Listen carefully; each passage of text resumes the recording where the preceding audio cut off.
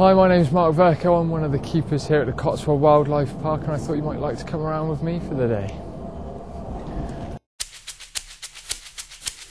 I've got to make up the diets for the pheasants and the turacos. It's, it's becoming ever more important than nutrition because um, it's sort of it is far too easy to just throw food and throw food at the animals and they survive. It's another thing to to actually get it right and let them thrive. So um, we've got to make sure that we can sort of make it as accurate as possible. Um, it's just purely chopped apple and chopped pear. Um, they're the bits that can run through our fruit chopper. We've got a fruit chopper um, that sort of dices it up nice and small for us, and then we add a bit of variety so we can add we can add things like grapes, banana, papaya. So we get all our fruit and veg in from a, a grocer, a local grocer, um, and we'll wherever possible we'll kind of we'll source it locally. We feed in all sort of all manner of different ways.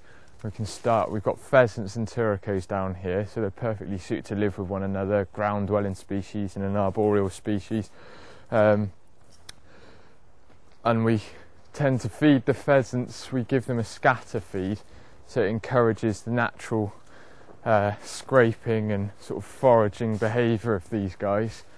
Um, it also is a perfect opportunity to pull them out of the undergrowth and uh, get a chance to see them.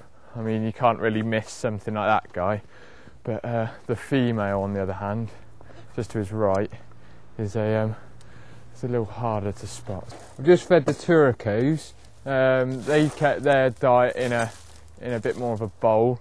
Um, so sort of it's an easier way to feed them in as far as we can we can monitor their their feed intake much easier that way. Um, pheasants you can see second you scatter some feed, food down they start foraging whereas the turacos are quite flighty birds and um, and they wouldn't settle until we'd gone. So we feed them in the bowl for for that reason and also it's a separate feed site. It means they don't have to interact with the pheasants don't have to compete against the pheasants um, so it just keeps the separate feed sites so that they're they're able to sort of feed in peace. This is our, our squirrel monkey. She's a female that we, uh, our, our group gave birth to. One of the females in our group gave birth to, but she it was a first time mum, and she she abandoned the youngster, and we a small group of squirrel monkeys.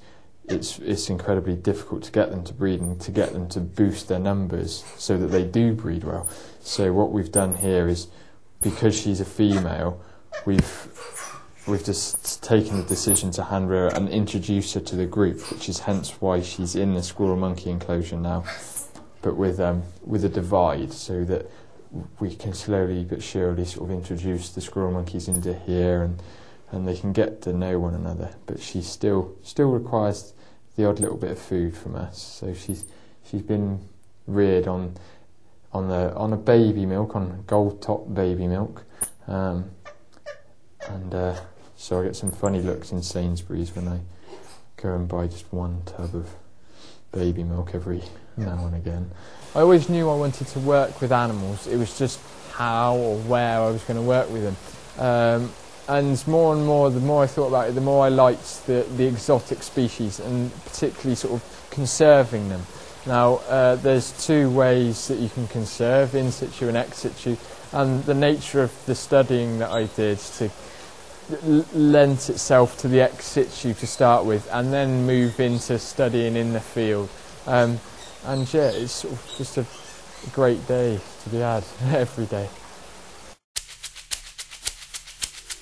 Right, so uh, it's just coming up to 11 o'clock and it's the first penguin feed of the day. So um, got to go and entertain the crowds as well as feeding the penguins. Um, and it's sort of a five ten minute job uh, that gets done twice a day. Um, so just got to get around there and prep up now. Good morning, folks. Welcome to Cotswold Wildlife Park and welcome to the first penguin feed here of the day. My name's Mark and I'm one of the keepers in the walled garden. Here at the park, our penguins have the option of using the boxes behind me and the caves opposite, and so far this year they haven't. It's the first year it's ever happened, and hopefully it's the last. But they've just completely gone off the boil. They haven't laid a single egg this year, but they have gone through the molt recently, and our pairs are starting to show signs of nest building again. When we've got about three nests currently in construction, so hopefully, come Christmas, we should have at least eggs, if not chicks. To get where I am today, um, I've studied for a national diploma, for a higher national diploma, and then topped that up to an honours degree. Um, more and more now, zookeeping is becoming a science. It has to be. It's no longer a case of just a, an example of wealth. Uh, there's science that goes behind keeping all these animals, so you have to have that scientific background.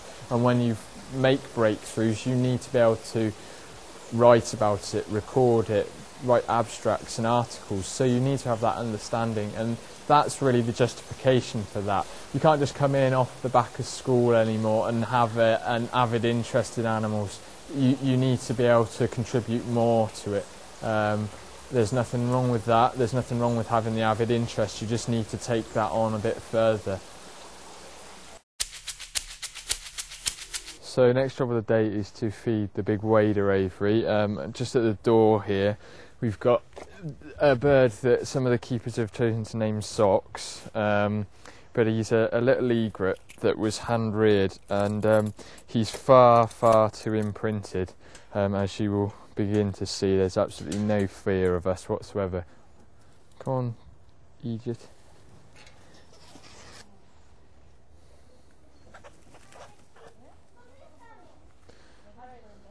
He's just had a bit of just had a bit of bream, uh, freshwater bream. Uh, in the bid to try and keep it quiet whilst um, whilst we go and feed the rest of the birds. But you can see he's he's sort of very attached to the keepers, um, particularly the, the, the ones that reared it, um, and uh, it just means you have to go careful where you're moving your feet. Got a bit of fish stuck, but he'll sort that out. He'll get that get that down. There you go. Um, so yeah, we try not to give him too much attention because it just encourages further behaviour like that. What I like most about working here depends on the time of year. If it's winter, it's the tropical house. now, what I like most about working here is the fact that every day is different. You're not tied to a desk, you're not tied to the computer. You how you work with public just as much as you work with the animals. It's no good thinking that you're going to become a zookeeper because you can't stand people because they are what keep the place running. So um, it's a good mix of highs, lows, public, animals, warm, cold, sun, rain, everything. Uh, but most of all, there's no desk, so that's the good thing. It's the end of the day. Last job we've got to do is just um, shut some of the birds in. It's meant to be quite a cold night tonight. Uh, keep them in, stick their heat lamps on, and um, keep them all toasty warm. So, got that to do. And then we've got to shut the garden and go home.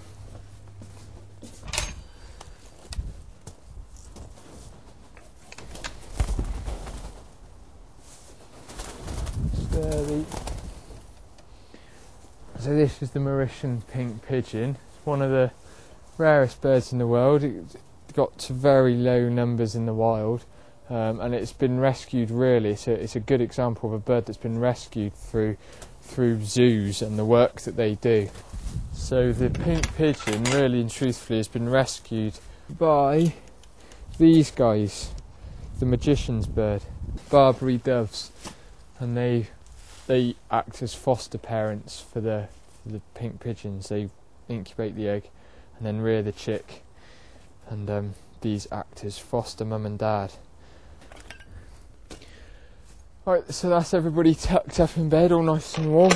all that's left for me to do is shut the park and send the visitors on their way, and that includes you guys. But if you do want to come into this industry, you'll have a fab time.